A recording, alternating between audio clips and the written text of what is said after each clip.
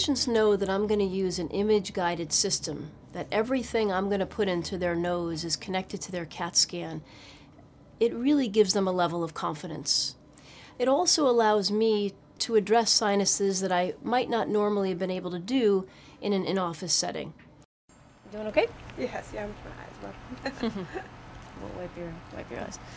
Okay, and so we're going to use this as a calibrator. Just keep your head the way it is. Okay, calibrating the instrument. Good. You're just going to feel a tickling sensation across your forehead and the bridge of your nose. And this usually takes about 30 seconds, okay? With the NuVent system, we do have to calibrate the instruments, and I do tell the patients that I'll be rubbing a wand over their forehead and over the bridge of their nose to properly calibrate so there's no, uh, so we have accuracy with all the instrumentation that we're using, including the balloons. Almost done.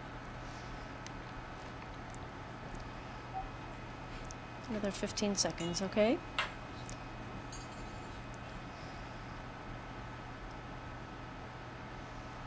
Too bad we can't give you a manicure, a pedicure. Perfect. And what we do is we test each instrument that we use just to make sure everything is accurate and properly calibrated. Good. Good. And I like to touch each one at the tip of your nose. Test our suction. All right. Some of these are being slow to respond. Good. All right, my dear, take the scope. Most patients, I tell them that I'm going to tell them every single thing that I do, even from putting a cotton pledget in and out of the nose, when I'm going to suction, when I'm going to inject, when they're going to have a drip in their throat, when they might feel some pressure, when they'll feel some a hear a crackling sound. I like them to know every detail. Where you feel a little crackling sensation as I medialize the middle turbinate.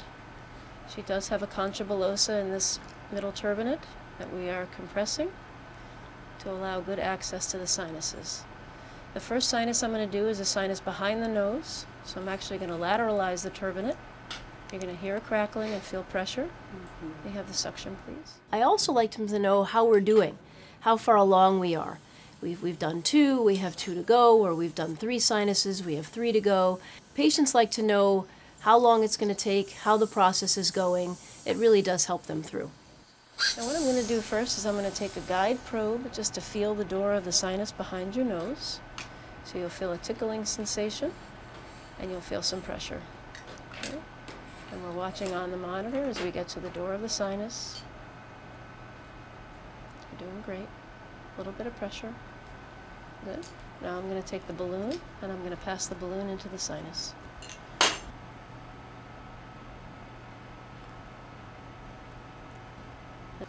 And I'm passing a balloon into the sinus behind the nose. This is the sphenoid sinus. Okay, you're going to feel a tickling sensation and you're going to feel some pressure. Tickling and pressure. You're doing great. There's a lot to be said for confirmation before inflation. We really have to know where we are before we dilate the balloon. The key is getting that balloon into the door of the sinus, and once we get that balloon in the right location, dilating it allows us to ventilate the sinus passage the way we intend to. With the NuVent system, we have very specific confirmation before inflation, and we could comfortably and confidently get the door of the sinus opened. And the cotton is just to catch any drips that may drip in the back of the nose. I'm going to pull the cotton out on the right side. Wipe your tears.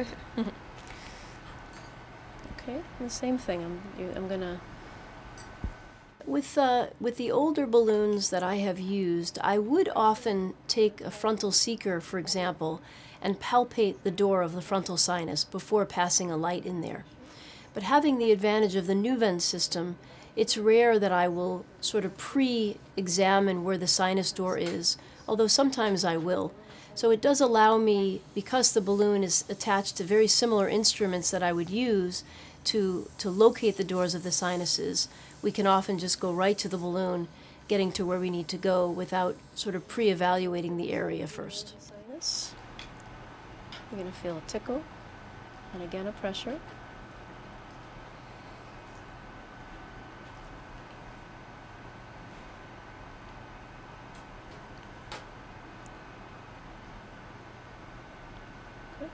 Now we're going to take the balloon catheter and pass it into the door of the sinus. Doing great. Tickling sensation and pressure in the back. Right at the door of the sinus. A little bit of pressure. Doing great. Almost done.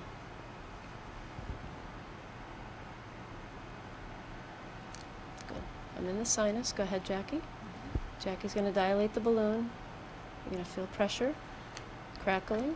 Beautiful. Three, two, one, and done. Good. Good. Perfect. Can we have a suction, please? Just going to suction a little in the back. You're doing amazing. And I'm going to take the balloon. Yep.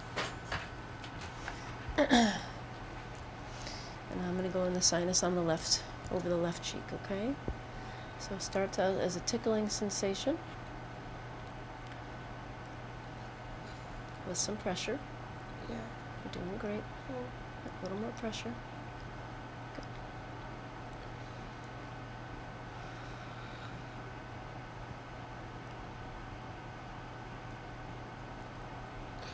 Almost there.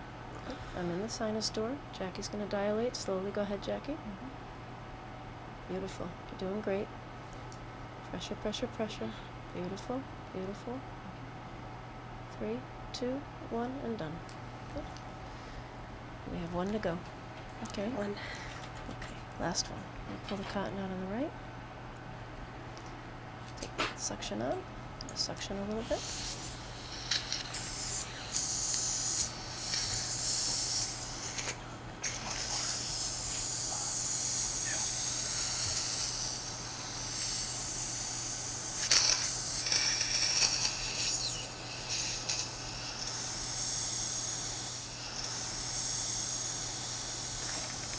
Last one to go. You're doing great. Nice deep breaths. Once again, tickling sensation, a little bit of pressure.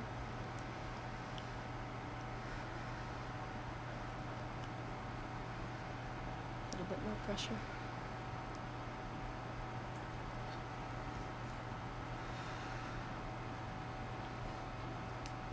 Good. I'm in the sinus. Go ahead, Jackie. Mm-hmm. Pressure, pressure, beautiful, beautiful. And done. Mm-hmm. Good. Good. We have the suction. I'm just going to suction a little bit and we're finished. Turn your head to me a little bit. Good. All right. Benito, you okay? You want to do it again? I'm sure. All right, we're going to take all this stuff off of you. The girls will give you whatever you need, okay? If you want some juice, okay? And something for pain, we have everything. Okay? All right. I'll check on you in a minute. So the NuVent system with the IGS Fusion has not only made for a, a, level of comfort that's been far superior to other balloons on the market. It's allowed me to do more than I would be able to do in an in-office procedure. Uh, accessing the sphenoid, for example, has always been very difficult with uh, the other balloon technology on the market. It's something that myself and most of my colleagues would never even consider doing in office and would always do it in an operating room. But the uh, advent of the technology of the in-office uh, vent system has really changed the level of comfort.